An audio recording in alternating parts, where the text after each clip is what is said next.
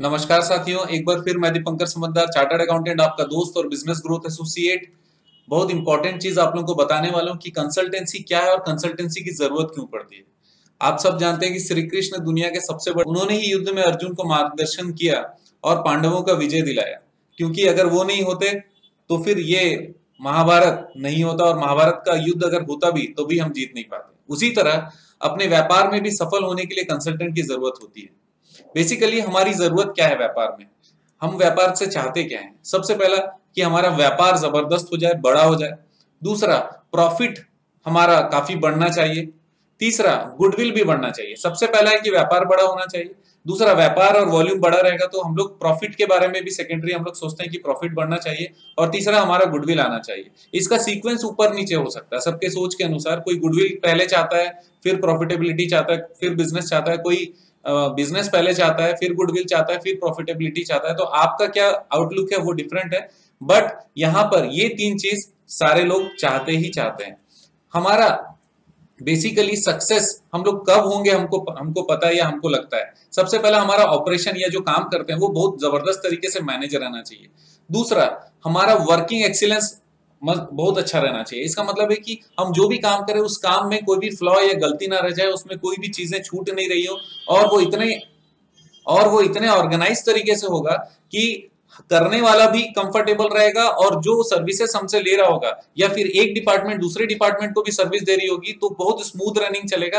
कहीं पर भी किसी तरीके का कोई भी इंफॉर्मेशन लीकेज भी नहीं होगा और डेटा लीकेज भी नहीं होगा फास्ट भी होगा, समय भी बचेगा तो वर्किंग एक्सीलेंस रहना चाहिए।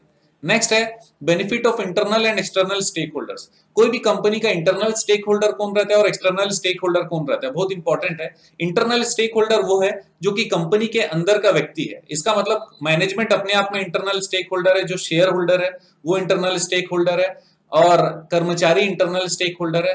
और हर वो व्यक्ति जो कि ऑर्गेनाइजेशन का पार्ट है ऑर्गेनाइजेशन के अंदर आता है, वो इंटरनल स्टेक होल्डर होता है। उसके बाद नेक्स्ट है external stakeholder external stakeholder कौन होता है? जो कि कंपनी से कनेक्टेड है। जैसे हम जिससे माल खरीदते हैं, जिसको माल बेचते हैं, जिससे खरीदते हैं वो सप्लायर हो गया, जिसको बेचते हैं वो हमारा कस्टमर हो गया। तो वो हमारा एक्सटर्नल स्टेक होल्डर हो गया। बैंक जिससे हम लोग लोन लेते हैं, वो एक्सटर्नल हो गया। ग्राहक जो हमसे सामान लेता है, वो एक्सटर्नल हो गया। इसके अलावा जो लोग भी समाज में रहते हैं, वो सारे एक्सटर्नल स्टेक होल्डर है, क्योंकि आप देखेंगे कि बहुत सारी कंपनी बंद करने में समाज का भी हाथ रहता है। समाज का मतलब जिस जगह पे काम कर रहे हैं, अगर वहाँ पे कुछ पॉल्यूशन होता है तो सारे लोग मिलकर वहाँ पर जाते हैं और उस ऑर्गेनाइजेशन को बंद भी करवा सकते हैं। इसका मतलब ये कि सोसाइटी चाहे वो सामने से डायरेक्टली आपसे रिस्पॉन्ड करे या ना करे, लेकिन आपका व्यापार अगर टिका हुआ है तो सोसाइटी में कोई नेगेटिव चीज़ नहीं है, या फिर वो इतनी नहीं हुई जिससे कि आपका व्यापार बंद कर सके। तो वो एक्सटर्नल स्टेक होल्डर हो गए। तो हम वो ऐसी बिज़नेस करें जिससे इंटरनल लोगों को भी हमेशा फ़ायदा हो और एक्सटर्नल लोग भी संतुष्ट रहें। नेक्स्ट है विजन फुलफिलमेंट कोई भी कंपनी और हमारा लाइफ तक में विजन रहता है कि हम क्या करना चाहते हैं। उसी तरीके से कंपनी या बिज़नेस जो होता है, उसका भी विजन होता है। हम, उसमें सोच होती है कि हम व्यापार में बिज़नेस में कहाँ तक आगे जाना चाहते हैं और उसमें क्या करना चाहते हैं। जब ये हमको क्लियर हो जाता है तो हम लोग उसके पीछे दौड़ते हैं, उसके पीछे काम करते हैं, उसको एकम्प्लिश करने के लिए काम करते हैं, उसको बोलते हैं विजन तो विजन के फुलफिलमेंट अगर हो जाता है तो हम लोग सक्सेस फील करते हैं। और जब एक विजन कंप्लीट होता है तो हम लोग फिर से नए विजन की तरफ़ या और बड़े और अच्छे गोल की तरफ़ जाने की सोचते हैं। नेक्स्ट है, हमारा ये जो सक्सेस हमको चाहिए, व्यापार में उन्नति चाहिए, सारा चीज़ चाहिए, इसमें हमारा सबसे बड़ा प्रॉब्लम या दुश्मन कौन है? हम ऑब्जर्वर बन जाते हैं। ऑब्जर्वर बन जाते हैं। इसका मतलब ये कि अगर कोरोना आया है तो फिर कोरोना से सब पीड़ित हैं, हम भी पीड़ित हैं। आप अपने आप को पीड़ित समझ लेते हैं। जो भी स्थिति आती है, उसमें आप ऑब्ज़र्व करते हो। उसमें एक्टिवली पार्टिसिपेट करना चाहिए। लेकिन एक्टिवली पार्टिसिपेट करने की जगह आप क्या बन जाते हो? आप ऑब्जर्वर बन जाते हो। नेक्स्ट मुसीबत के वक्त हम परिस्थिति को दोष देते हैं। अरे यार, इस कारण से ऐसा हो गया। कोई भी कारण हम लोग को बताने में हमेशा अच्छा लगता है। जैसे नोटबंदी हो गई तो हम लोग व्यापार ठीक से नहीं कर पा रहे हैं। हमारा क्लाइंट हमको पैसा नहीं दे रहा है। हम अपने क्लाइंट को पैसा नहीं दे रहे हैं। जीएसटी का फिर बहाना हो गया। फिर कोरोना तो चल ही रहा है। और कोरोना बहाना मैं नहीं बोल रहा हूँ। हर परिस्थिति में प्रॉब्लम्स आती है। लेकिन हम लोग परिस्थिति को ही दोष देते हैं। परिस्थिति हमेशा लाइफ में नई नई परिस्थिति आएगी चेंज होती रहेगी। लेकिन हमको उससे आगे सीखना है और आगे बढ़ना है। केवल दोष नहीं देना है, रास्ते भी निकालना है राइट नेक्स्ट हम स्टाफ के सिंसियरिटी पर दोष देते हैं कि स्टाफ ठीक से काम नहीं करता राइट स्टाफ के सिंसियरिटी पर दोष देते हैं तो आप एक बात बताइए स्टाफ को ट्रेनिंग किसने दिया? आपने दिया। स्टाफ को रखा किसने? आपने रखा। चूज़ किसने किया? आपने चूज़ किया। उसके बाद भी दोष कौन दे रहा है? आप ही दोष दे रहे हो।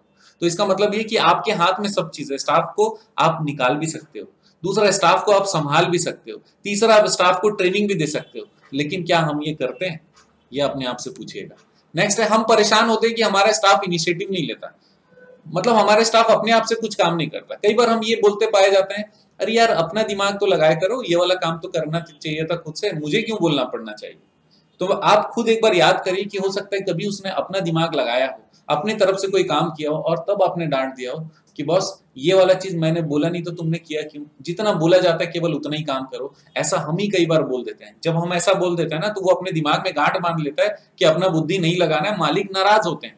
तो आप उस गांठ को खोलिए, जाइए, बात करिए कि सेल्फ इनिशिएटिव कहाँ कहाँ पर लिया जा सकता है और किस जगह पे नहीं लेना उचित होगा। नेक्स्ट है, हमारे पास एग्जैक्ट सिस्टम और प्रोसेस ऑफ़ वर्किंग नहीं होती। आप देखिए सुबह आप ऑफ़िस में जाते हैं या अपने काम पे जाते हैं तो उसके बाद में जो लोग आपको ज़्यादा परेशान करते हैं, आप उसके प्रॉब्लम को सॉल्व करने पे लग जाते हैं, क्योंकि वो आपको परेशान कर रहे हैं, आप परेशान हो रहे हैं। तो हम जिस चीज़ में ज़्यादा परेशान होते हैं, सबसे पहले उसको ही सॉल्व करने की कोशिश करते हैं। हमने चीज़ों को स्ट्रक्चर्ड करके नहीं रखा। क्या ऐसा हो सकता है कि दिन का सुबेरे का तीन घंटे का स्लॉट हमने ये रख दिया कि जो भी प्रॉब्लम वाली चीज़ें होंगी, पहले उसको सॉल्व करेंगे और उसके बाद उन्नति वाली चीज़ें या फिर आगे बढ़ने वाली चीज़ों पर काम करेंगे। इसके बारे में एक बार सोचिएगा। हमारे पास आइडियाज़ ज़बरदस्त होते हैं, बहुत होते हैं, पर हम अपनी असफलता से हमेशा डरते रहते हैं।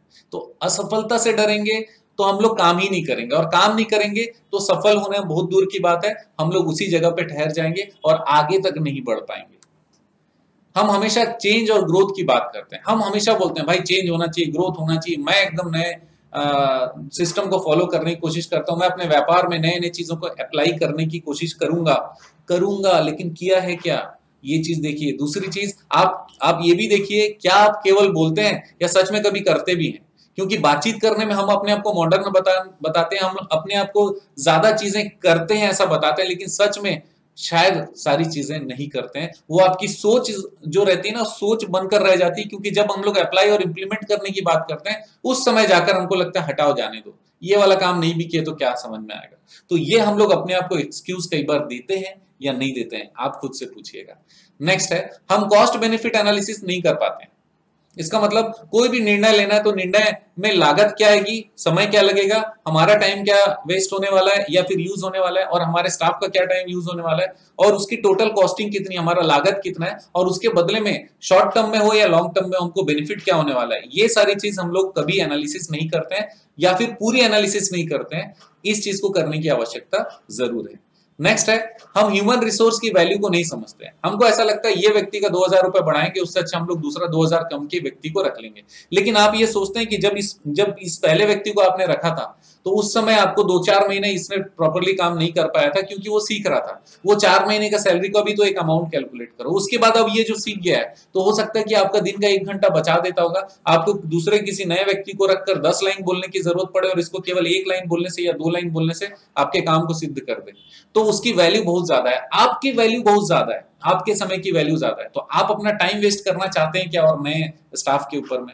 नहीं तो फिर पुराने वाले को आप ट्रेन करिए, उसको डिसिप्लिन बनाइए, उससे ज़्यादा काम लेने की कोशिश करिए प्रोडक्टिविटी बढ़ाने की कोशिश करिए, ये आप ज़रूर कर सकते हो। लेकिन हम हमेशा हर काम नहीं कर पाते हैं राइट और आगे देखते हैं, हम लोग पेमेंट कम देते हैं, लेकिन ट्रस्ट बहुत ज़्यादा करने की कोशिश करते हैं। हम, हमने कंप्यूटर ऑपरेटर को रखा, उसको पाँच हज़ार, आठ हज़ार रुपए पेमेंट कर दिया, और उनको सारे पासवर्ड दे दिए, हमारे अकाउंट के भी पासवर्ड दे दिए, और हमारे मेल के भी पासवर्ड दे दिए, हमको तहस नहस करने का पूरा अधिकार दे दिया, और हम ये कहते हैं कि भाई मैंने तो तुम पे बहुत ज़्यादा ट्रस्ट किया था, तुमने धोखा दे दिया।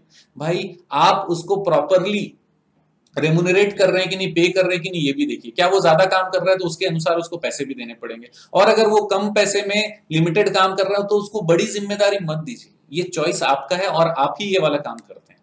नेक्स्ट है एचआर सिस्टम नहीं होता।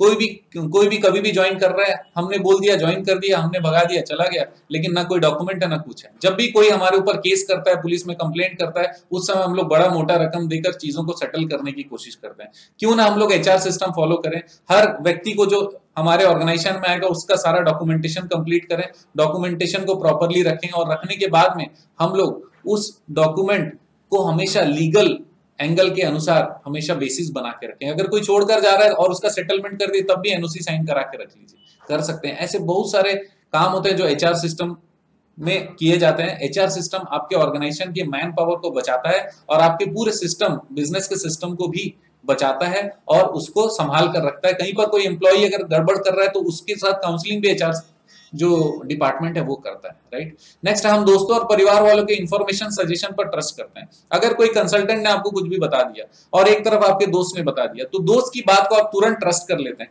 ट्रस्ट करना गलत नहीं है, उस पर बिना सोचे समझे ट्रस्ट करना गलत है, क्योंकि आप व्यापार करने बैठे हो। कोई रिलेशनशिप बिल्डअप आप घर पे नहीं बैठे हो। तो जब व्यापार करने बैठे हो तो कंसल्टेंट भी अगर बोल रहा है, आप चाहो तो उसको वेरीफाई कर लो, ज़रूर करना चाहिए।